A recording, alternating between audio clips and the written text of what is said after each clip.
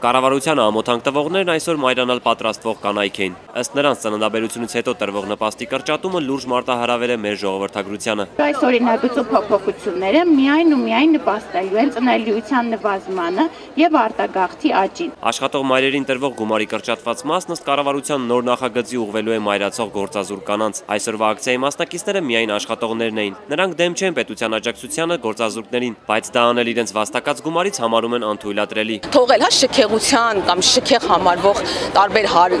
առարկաների եւ հարկերը եւ փորձել դա վերցնել չաշխատող մայրերից, դրանով իսկ մարտահրավեր նետել մեր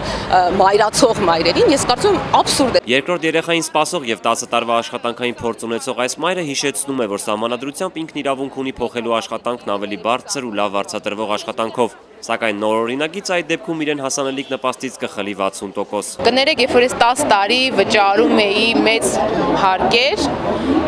ոչ միտեղ հիմա իրանք չեն ուզում, ոչ մի ձև չեն ուզում դա փոխհատուցել։ Կանանց այսօր սատարելու են եկել նաև դեմեմ քաղաքացիական շարժման արական սերի ներկայացուցիչները։ Նախորդ եւ ներկա կառավարությունը մրցույթ են կպկում, թե ով ավելի մեծ հարված կհասցնի Հայաստանում, թե արտագաղթին, թե ծնելիությանը, թե մարդկանց սոցիալական վիճակի ավելի վատթարացումը։ Ժամանակավորապես անաշխատունակ ճանաչված անձանց իրավունքների պաշտպանության նախաձեռնության անդամներն իրենց նամակը փոխանցեցին վարչապետին, նշելով, թե իրենց ձայնը լսելի չդառնալու դեպքում պատրաստ են անգամ հանրահավաք անցկացնել։